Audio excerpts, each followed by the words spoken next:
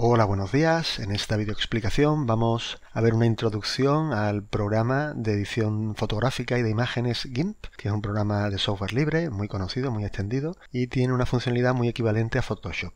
Esta es la página web gimp.org. Aquí podemos descargar la versión 2.10 y aquí seleccionaríamos nuestro sistema operativo. Esta es la pantalla de GIMP, la pantalla principal, y vamos a hacer un recorrido para ver las diferentes zonas. Tenemos aquí el menú principal, que nos es familiar de otras aplicaciones parecidas. En el menú archivo sabemos que podemos abrir, guardar, exportar eh, proyectos.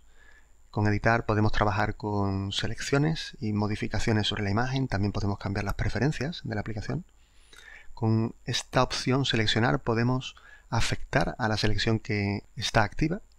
Se verá en la siguiente video explicación.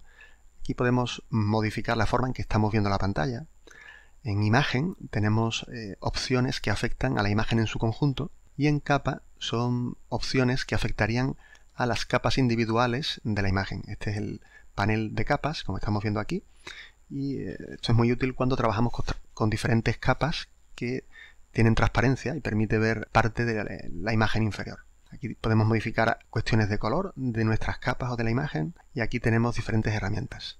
Estas mismas herramientas que podemos seleccionar por los menús son las mismas que aparecen aquí recogidas en el panel de herramientas. Por ejemplo, está la herramienta mover, seleccionar, selección libre, selección difusa, etc.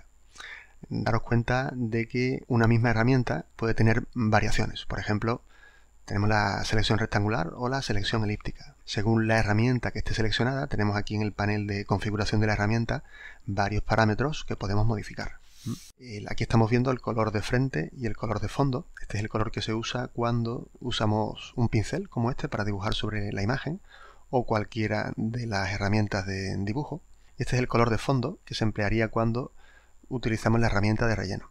Si queremos cambiar los colores, haciendo clic, aparecen diferentes formas de seleccionar colores. A mí personalmente me gusta más la de la rueda. Podríamos cambiar, por ejemplo, a un color azul. Con la opción de filtros podemos aplicar diferentes efectos sobre la imagen, como se verá más adelante en otras explicaciones, y la zona de ventanas eh, podemos decir qué paneles están activos o están ocultos y si queremos que estén en este formato o de forma flotante, en ventanas auxiliares. La ayuda de GIMP en esta opción es, es muy completa y tenemos una ayuda muy detallada para cada una de las herramientas. Finalmente está la barra de estado, donde aparece información útil sobre eh, la utilización de la herramienta o la selección que en curso se esté realizando en cada momento. Tenemos aquí también, por último, paneles adicionales que nos permiten acceder más cómodamente a diferentes elementos. Por ejemplo, estamos viendo aquí eh, los últimos archivos abiertos. Estos son los tipos de pincel o tipos de relleno con patrón o en este caso eh, una configuración más cómoda para modificar gradientes de color. Vamos ahora a abrir un par de archivos con los que vamos a trabajar. Marcamos dos imágenes presionando la tecla control para hacer una selección múltiple y nos va a abrir dos imágenes. Vemos que aquí tenemos unas pestañas con las imágenes en pequeñito y nos permite pasar de una a otra para trabajar. Vamos a empezar trabajando con esta imagen. Con control rueda podemos acercarnos o alejarnos o también con la herramienta lupa. Vemos que eh, nos indica en esta tooltip, en este bocadillo, que con la Z podemos activarla. La herramienta lupa está marcado reducir, significa, si veis el icono del ratón tiene una lupa y un menos, cuando hagamos clic va a reducirse. Vemos que aquí nos sugiere que con control ocurre algo, si pulsamos control vemos que aparece un más junto al puntero del ratón y ahora pulsando control pues podemos ampliar la imagen. ¿vale? Y aprovecho y digo que con el espacio, la barra espaciadora, podemos también desplazar la imagen a izquierda y derecha, además de que se puede hacer con las barras de desplazamiento.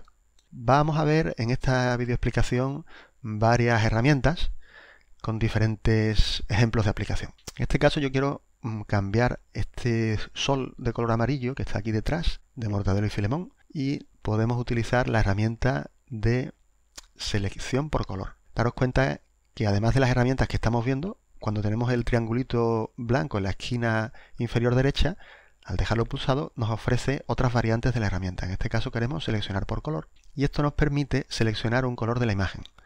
Por ejemplo, si nosotros quisiéramos, como hemos dicho, cambiar el color del sol, pues hacemos clic en una zona donde esté ese color y selecciona todas las zonas con un color parecido en la herramienta. Podemos jugar con el umbral para que sea más permisivo o menos permisivo con esa selección de conjunto. Vale. Ahora que tenemos estas zonas seleccionadas, vamos a aplicar nosotros un color de relleno con la herramienta de relleno. Es este cubo que tenemos aquí. Hacemos clic y vemos que indica que se va a rellenar con el color de frente. El color de frente es este azul, el color de fondo es este negro. Si queremos cambiarlo, hacemos clic en el color y podemos poner un azul más oscuro, por ejemplo, más hacia acá. Le damos a aceptar y vemos que ha cambiado el color correctamente y ahora podemos rellenar las zonas correspondientes. Y hemos cambiado el color del fondo. Marcamos la selección a nada para ver cómo queda. Se podría también cambiar los pantalones de Filemón. Si hacemos clic en color rojo, vemos que ha seleccionado todo lo que es rojo. Nos podemos acercar un poquito y parece que está bastante bien la selección que ha hecho. Podemos subir un poquito el umbral a ver si mejora. Ahí va. Y ahora podemos cambiar esos pantalones por un naranja, por ejemplo. Vamos a coger este naranja, naranja así tipo butano. Y nuevamente cuando rellenamos, a ver si esto funciona bien. Ahí se ha quedado un poquito de rojo, pero bueno, pasa desapercibido. Hemos cambiado los pantalones de Filemón. ¿no? Quitamos la selección y vemos cómo queda. Podemos ver también cómo funciona la herramienta de transformación, que es esta que está aquí, que tiene todas estas variantes. Nosotros vamos a probar, por ejemplo, voltear, de forma que si están mirando los dos personajes a la izquierda, al aplicarlo, pues mirarían a la derecha. También se podría hacer un volteo vertical, pero en este caso no nos interesa, que si quisiéramos conseguir un, reflejo en el agua, pues sí estaría bien. Podríamos también trabajar con redimensionar y es tan sencillo cómo hacer clic con el ratón en los manipuladores de la imagen.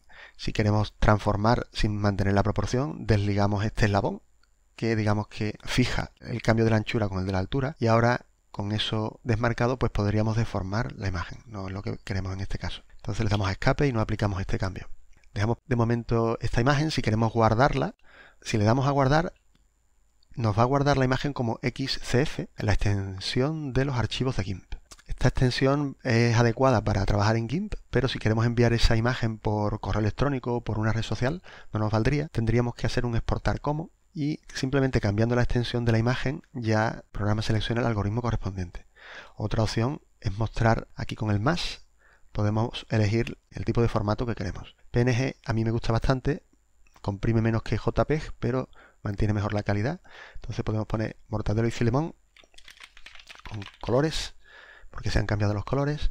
Al darle a exportar nos permite modificar algunos parámetros. Aquí tenemos un nivel de compresión que esto se puede modificar, esto es importante para conseguir archivos más pequeños según el uso que se le vaya a dar a la imagen. Y cuando exportamos y volvemos a la carpeta, ha aparecido Mortadelo y Filemón con colores y ya se puede abrir con un programa de visualización de imágenes.